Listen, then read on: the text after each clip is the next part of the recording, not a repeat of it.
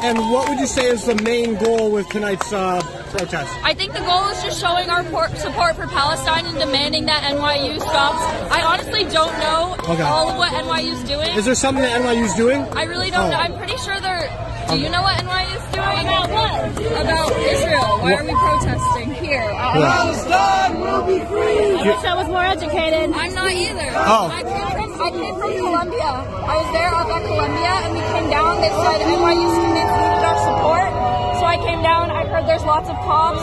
Some people were saying it was getting dangerous.